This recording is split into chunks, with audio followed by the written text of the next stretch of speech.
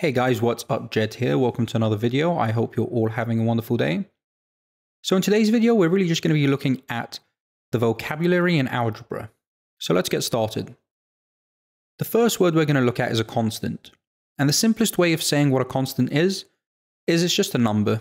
So you can have a constant of 2, 4, minus 3, or any number you think of. The reason we call them constants is because that's their fixed value and they don't change. They remain constant.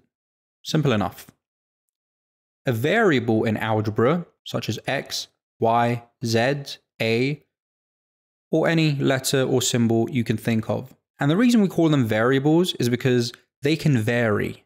Their actual value can change. So in one equation, x might be equal to 3, but in the next equation, x might be equal to 4. However, with constants, the number 2 is always going to be the number 2. So that's the difference between constant and variables. Now let's look at a term. A term can be a constant or a variable or the multiplication of both. And that's pretty much it. Of course, you can have negative versions of them as well, so don't forget that.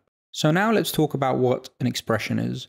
An expression is usually the combination of constants, variables, and terms.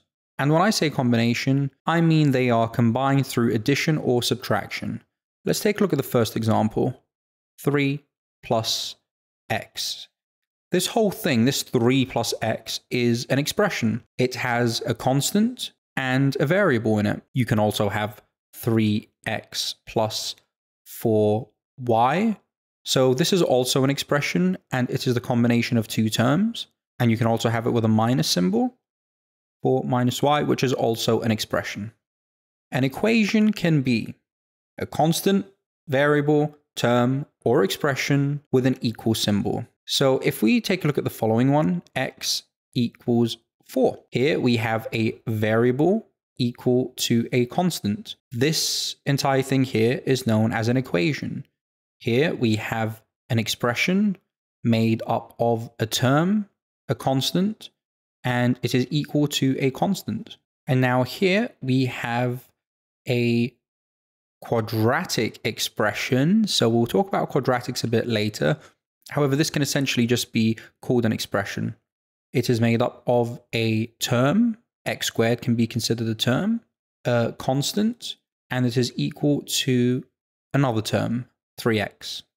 And there you have it. That's your vocabulary in algebra pretty straightforward, very important to commit them to memory. So learning and memorizing these will help you in explanations that we go through later on with different areas in algebra. Guys, I really hope you've learned something by watching this vid. If you have any questions, just leave them in the comments below and I'll try and answer them when possible. Thanks again, guys, and take care.